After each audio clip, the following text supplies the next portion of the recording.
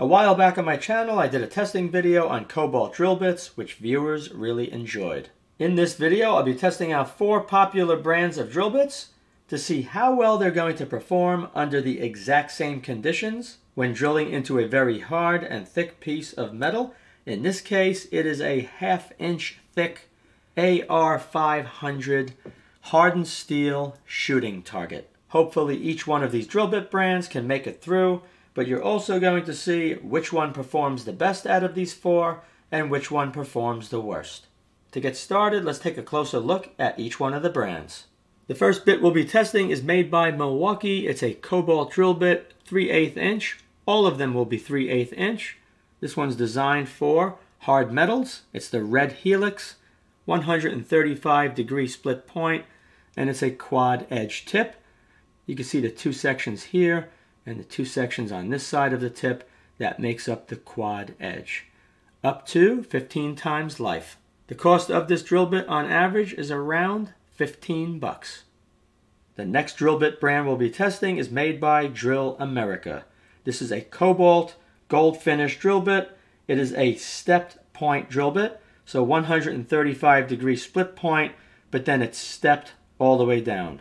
This drill bit was designed for drilling into hard materials such as hardened steel or stainless steel. So it's going to be very interesting to see how well it performs with this new style tip. Average cost of this drill bit is around $13. And you can see right here, it's part of a 29 piece set in this waterproof container. Since a lot of people like Harbor Freight, we're also going to be taking a look at this Hercules 6 inch extended length 3 8 inch drill bit. Now I did look for the most expensive one that they sell in 3 8 inch and this was the one right here. It was $6. It happens to be black oxide. It's designed for metal, wood, and plastic. The only other bits that I saw that were 3 8 inch were reduced shank bits and it was part of a set and it was titanium. So a set of 15 bits was only $19.99. So you know if it included this one, it was not going to be very expensive, the bit in that set. But I did come across this one, and we're going to be checking this one out to see how well it performs. Just like the other bits we're going to be testing, spiral flutes that remove material faster. It says two times longer. And over here it says split point 135 degrees, just like the other ones, to prevent the tip from walking. The last drill bit we'll be testing is DeWalt's top of the line Elite Series this is up to two times longer than Milwaukee. It uses a multi-step point. So the Drill America has a stepped drill bit point. So it actually has multiple steps, but it appears this drill bit has three steps. So the end, another level, and then it goes to the full width of the drill bit. You can see it right here, the tip, the wider section, and then the width of the drill bit. So this is not going to be walking too easily. And it also has three flats on the shank here to prevent slippage when drilling. This is a cobalt alloy steel bit. The price of this bit, not cheap, 20 bucks. And right here, just to show the difference between the DeWalt and the Drill America, both are side by side. Okay, let's take this outside, get the drill press set up, and get the testing going. This is the setup I'll be using. It's the exact same setup as the previous video on drill bit testing. I'm going to use this 10 pound weight. It's going to apply constant downward force on the handle.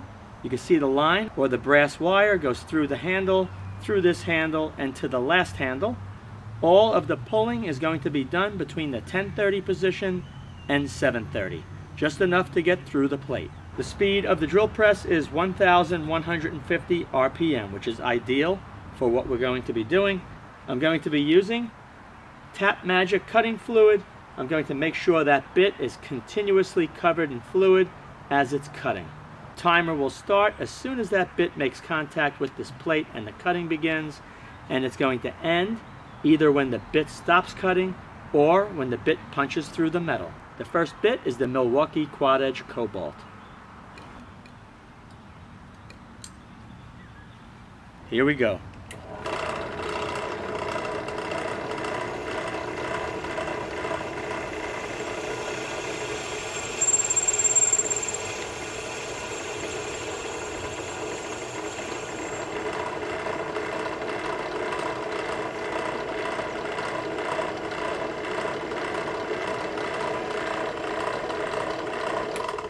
And that as far as that went, sadly.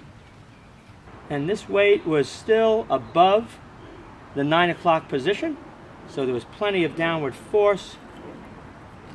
Let's take a look at how far this went into the plate. And we're going to take a look at the tip of this bit. All right, let me take a close-up for you right here. It doesn't look like it went in more than maybe two millimeters. The drill bit doesn't feel dull, but let's take it out and take a look because apparently something happened to stop it from drilling. Looking at the quad edge tip, you can see on the outer edges on each side, the cutting edge has been worn down. All right, I'm not so optimistic after seeing how this one performed, but let's continue on. Now we're going to do the DeWalt multi-step. All ready to go just above this hardened steel plate. I'm going to turn it on lower the weight, and get the timer going. Hopefully this one does a lot better than the last.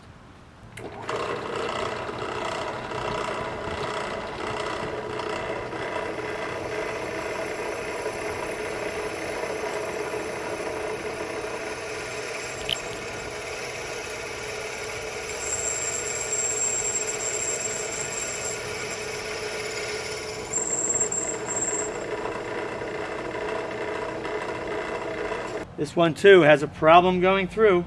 Let's lift it up, take a look at the hole that was created. You can see this hole is much deeper with the DeWalt multi-step. The only problem is, it's probably four times deeper at least. The only problem is when it got towards the top, when it got to the full width of the drill bit, it couldn't handle it. So more than likely these edges became worn, just like the quad edge on the Milwaukee. Let's take a quick look at this bit.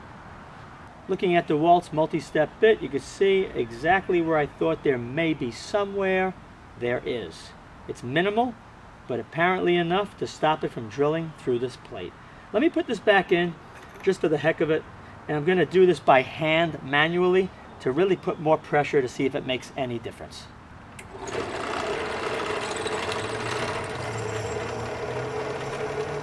I'm putting a lot of pressure. I don't want to break the machine, but as you can see, in case you were wondering, putting more pressure is not going to help that bit to drill through that hardened steel. So far between the Milwaukee Red Helix and the DeWalt Multi-Step, the Multi-Step is doing better. They're both doing lousy, but the Multi-Step was able to go far deeper than the Red Helix. The next bit is Harbor Freight, and based on the performance of these two, I don't think it's going to be pretty.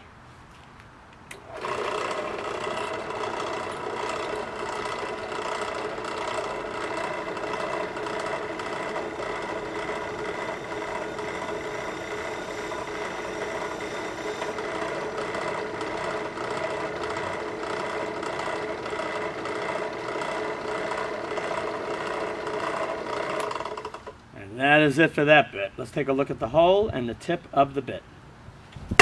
So far, they're all not doing so great against a very hard material like AR500 hardened steel, but it's an indicator of how well they're going to do against other hard materials such as certain grades of stainless.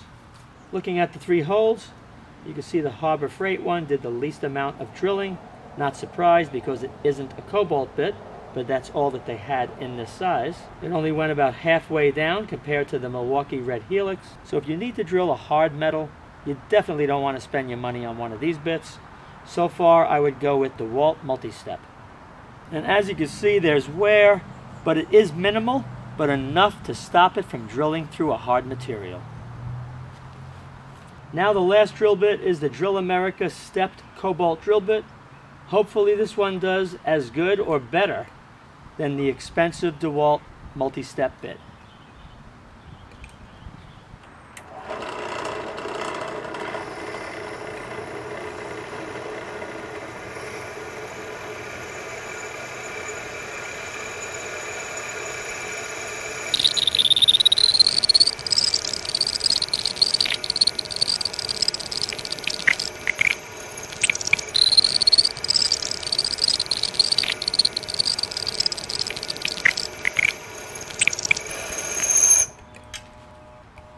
The tip is stuck in the very back side of this plate.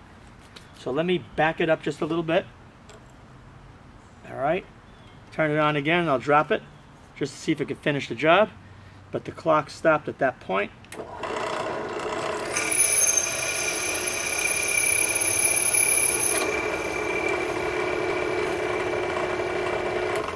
I don't believe it. All right, I stopped it because it looks like it wasn't going any further, but it looks like it's really close to the bottom. So let me loosen this, drop it down, so we get an idea of how deep this bit went, if it made it through or not. Oh, wow, that's really, really deep. Way deeper than the other bits. But it did not go through. Let me see. Yes, it did. The tip of this actually pierced this plate. Let me show you. So this was the only bit to be able to go through the plate with the small tip at the bottom. It went right through. The only problem is it couldn't make the entire hole the full width of the drill bit. But I gotta say, it definitely outperformed the other bits. And this one here was cheaper than the Milwaukee and cheaper than the DeWalt. So in my opinion, if you're looking to drill through a hard material, the Drill America bit, the multi-step, is definitely the way to go. Here you can see first place Drill America, second place DeWalt multi-step, third place is the Red Helix by Milwaukee, and last is Harbor Freight. And right here, you can see where the tip punched through. If this plate was a quarter inch thick instead of a half inch thick, more than likely the Drill America bit would have gone through. Guys, that is it. I hope you enjoyed this testing video. If you did, be sure to rate, thumbs up, and share. Thanks for watching.